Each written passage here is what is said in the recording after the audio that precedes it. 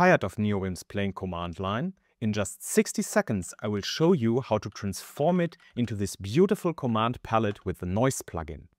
First, make sure you have Package Manager installed. I am using lazy.nvim here.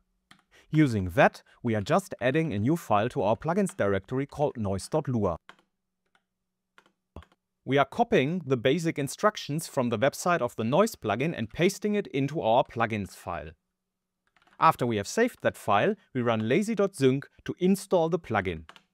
Look at that, the command line at the bottom of the screen is gone. But if I type a command now, like for example colon write, it will pop up in this beautiful floating window.